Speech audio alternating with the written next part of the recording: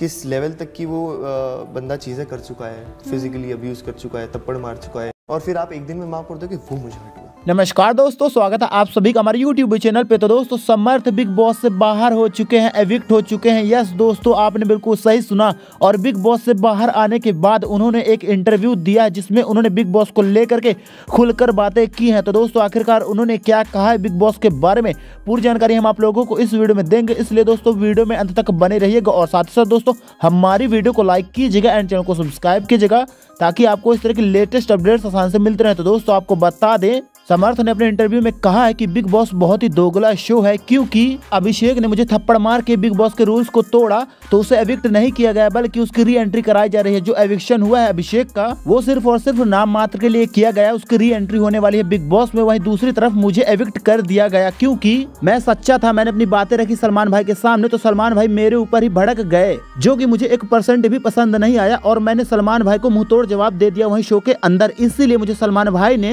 बेइज्जत करके एविक्ट करवा दिया। तो दोस्तों, अपने इंटरव्यू में समर्थ ने कुछ ऐसा कहा है। अब आप लोग हमें कमेंट करके बताओ कि आप लोगों का क्या है कहना। समर्थ के इस स्टेटमेंट पर आज की इस वीडियो में दोस्तों, इतने मिलने के लिए वीडियो में धन्यवाद।